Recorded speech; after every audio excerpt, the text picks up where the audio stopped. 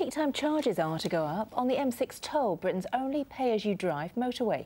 It was built to combat the jams on the nearby M6, but for some drivers, the cost means they won't use it. So, what do motorists make of the latest price rises, which will come into effect on March the 1st and will affect car and lorry drivers? Nadine Towell reports.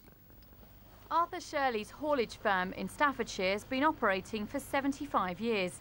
His lorries travel the length and breadth of the country, but since the M6 toll road opened more than eight years ago, they've barely used it. It is a waste of a good road.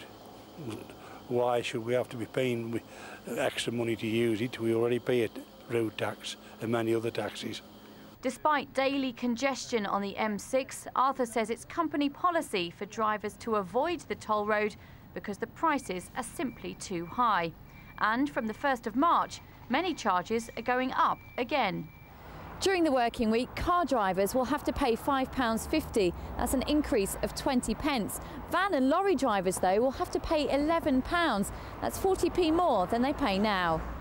Some charges are going down, though. Larger vehicles using the local exits off the toll road will pay less at weekends and at night. It's been a controversial motorway from the beginning and continues to divide opinion among drivers. I've not prepared to pay, pay that much to save the time, really. I didn't think it was that much, no.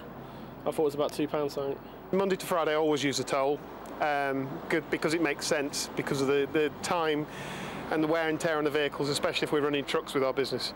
In 2004, once the M6 toll road was fully open, the standard charge for cars was £3.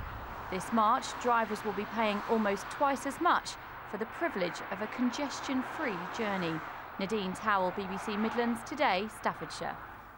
It certainly doesn't look very busy there, does it, at the moment? And uh, the chief executive of the operators of the M6 toll road, Tom Fanning, defended the changes, saying increasing a toll is not a decision we take lightly, and we believe the new toll levels remain unbeatable value for money.